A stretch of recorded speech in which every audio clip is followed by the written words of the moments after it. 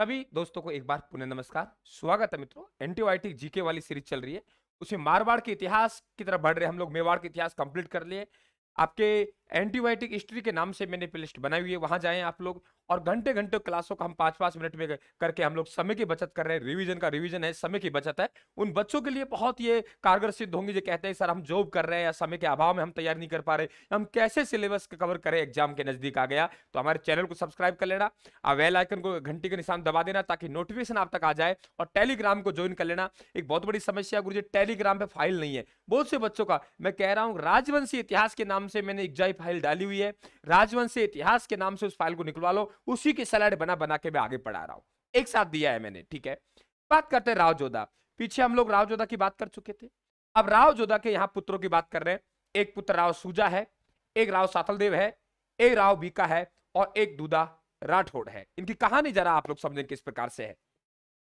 ये आप लोगों के राव बीका इनका सबसे बड़ा पुत्र है, मौजूदा स्थिति में। मौजूदा स्थिति में सबसे बड़ा पुत्र है तो वे कौन है? राव बीका। यानी राव बीका सबसे बड़ा पुत्र है। हालाँकि बड़ा पुत्र था, ज्येष्ठ पुत्र नीबा था, लेकिन उनकी क्या हो गई? मृत्यु हुई। तो राव बीका का जन्म हुआ। वे राव जोधा की पत्नी नोरंग दे के गर्भ से हुआ और राव बीका बड़ा है। तो अधिकार इनका बनता है। तातल देव की माँ का नाम जासम दे है और राव जोधा ये समझ लीजिए जासम दे से अधिक प्रेम करते थे नौरंग दे से कम करते थे। तभी तो अपने छोटे बेटे राव सातल देव को उत्तराधिकारी घोषित कर रहे हैं। राव सातल देव को उत्तराधिकारी घोषित किया, छोटा था फिर भी। राव बीका को बुलाया बोले, बेटा, मैं एक काम कर रहा हूँ। बोले, पापा, कौन सा? बोले, बेटा, ऐसा है कि ये तेरे छोटे भाई को मैं क्या बना रहा हूँ? उत्तराधिकारी बना रहा हूँ। बोले, पापा, कोई बात नहीं। अगर तेरे बेटे राव बीका में सामर्थ्य होगा तो एक बहुत बड़ा साम्राज्य खड़ा कर देगा। बस आपका आशीर्वाद चाहिए पिताजी। लेकिन आपकी मृत्यु के बाद में आपकी जो राज चिन्ह है, वे राज चिन्ह मुझे मिलने चाहिए, ये भी तय हुआ और राव बीका यहाँ से निकल जाता है और उस इलाके में आपका जांगल प्रदेश है। कौन सा प्रदेश है? जांगल प्रदेश। और जांगल प्रदेश में जाकर चौदह ईस्वी में राठौड़ वंश की नींव रखता है। पता लगा कि ये मेरा यहाँ राजधानी, आप लोगों के राज्य स्थायी हो सकता है तो अब एक राज्य आपके नगर बसाएगा उसे राजधानी बसाएगा। तेईस साल बाद में एक नगर बसाया। समय था चौदह कौन सा? चौदह सौ अठासी चौदह सौ और अठासी ईस्वी का समय है।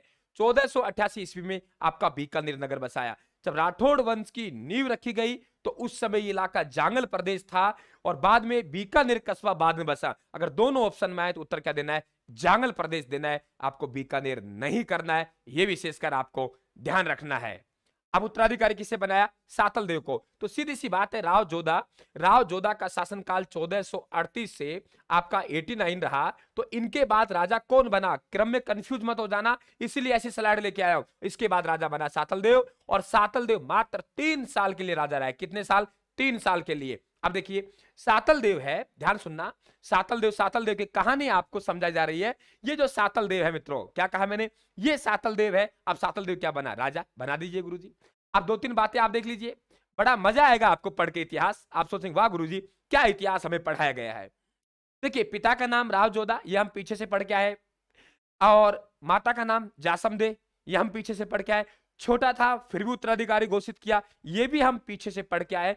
कुंथल का प्रदेश जीता, राज्य का विस्तार किया। जैसलमेर में जो सातलमेर आपका क्या है? आप लोग कस्बा इन्होंने बसाया, ससुर देवीदास से प्रदान प्राप्त किया। तो सातलमेर जो कस्बा है, ये इन्हें नहीं बसाया।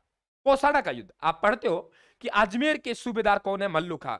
अजमेर के सूबेदार मल्लू खा मल्लू खा ने मेड़ता पर अटैक किया। कहा के सूबेदार? अजमेर के सूबेदार मल्लू खा ने क्या किया? मेड़ता पर अटैक किया। और इनके सेनापति कौन था? खुड़ला खा। तो इनके मल्लू खा और आपके अजमेर के सूबेदार के ए, के मध्य आपके मल्लू खा अजमेर के सूबेदार राव सातलदेव के मध्य लड़ाई हुई। ये तो आप जानते हो मित्रों लेकिन आज एक नई पहचान आपको मिलेगी कि युद्ध का नाम था कौसाड़ा का युद्ध। और ये कहा हुआ? जोधपुर में एक मार्च चौदह सौ बानवे को जैसे पता है आपको कि रायथान नए आंकड़ों के लिए जाना जाता है विस्तृत चर्चा के साथ जाना जाता है और वे आपके सामने कौसाणा का युद्ध किन किन के मध्य हुआ? अजमेर के सूबेदार मल्लू खा और सेनापति गुड़ला खा के मध्य हुआ।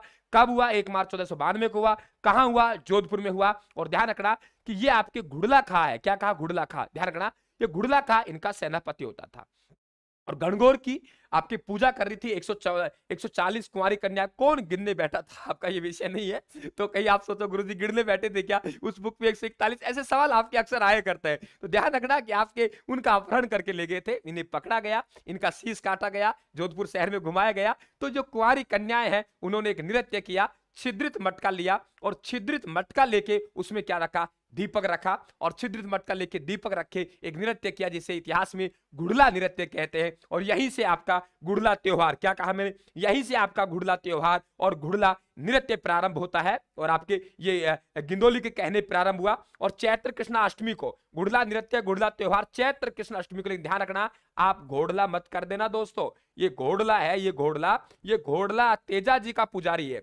तेजा जी का पुजारी को क्या कहते हैं? घोड़ला कहते हैं। इनका स्मारक कोसाणम बना हुआ। गजब का सवाल है कि सातल देव का स्मारक कहा बना हुआ? कोसाणम बना हुआ है। रानी फूला भटियानी ने फूले लाव तालाब जोधपुर का निर्माण करवाया। ये सब बातें आपको आनी चाहिए राव सातल देव के बारे में। अब बहुत अच्छा सवाल, और देखिए गजब का सवाल की हम लोग बात करते हैं कि आप कहेंगे गुरु जी क्या? देखिए, कैसे हम लोग क्रम पढ़ते हैं? कैसे हम इतिहास पढ़ते हैं? राव सातल देव के बाद राव सूजा राजा बना। इन बच्चे क्या करेंगे? बच्चे यही करेंगे गुरु जी गुरु जी गुरु जी गुरु जी सूजा इनका बेटा था क्योंकि सूजा इनके बाद में राजा बना। सूजा इनका बेटा था क्योंकि सूजा इनके बाद में राजा बना। एक तो आपको ये ध्यान रहना चाहिए, सूजा इनका बेटा नहीं था। राव सातल देव के भाई का नाम क्या था? सूजा था और सूजा राजा बना। इधर बात करें हम, दूधा राठौड़ की बात करें। राव दूधा राठौड़। मित्रों, ये जो आपके राव दूधा राठौड़ है, क्या कहा मैंने? ये राव दूधा जो आपके राठौड़ है, कौन? राव दूधा जो राठौड़ है, ये ध्यान रखिए आप लोग। राव दूधा राठौड़ तो ये राव दूधा राठौड़ है, ये आपके कहा के थे? या अभी आप लोगों के राव जोधा की पत्नी राव जोधा की पत्नी आपके चांपा भाई के गर्भ से पैदा हुआ था। इनके गर्भ से? राव जोधा की पत्नी चांपा भाई के गर्भ से राव सातल देव का जन्म हुआ था। तो आपके राव सॉरी आपके राव दूधा राव दूधा की माँ कौन हुई? चंपा भाई। वेरी इंपॉर्टेंट क्वेश्चन इसके गर्भ से कौन हुआ? रतन सिंह।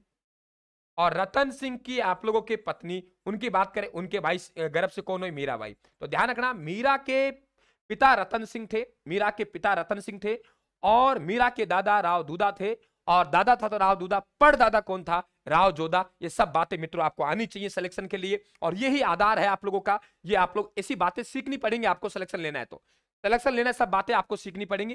टेलीग्राम पे ये हमारा, आपके सूजा कंप्लीट हुआ, आपके दूधा राठौड़ कंप्लीट हुआ, आपके क्लियर हुआ और सातल देव कंप्लीट हुआ। सब बातें आपको पढ़नी है। आगे हम लोग सीरीज़ में राव गंगा की बात करेंगे। राव गंगा की हत्या करते हुए मालदेव की बात करेंगे। सभी को राम राम साहब, धन्यवाद। टेलीग्राम को ज़रूर ज्वाइन कर लेना। राम राम साहब, धन्यवाद।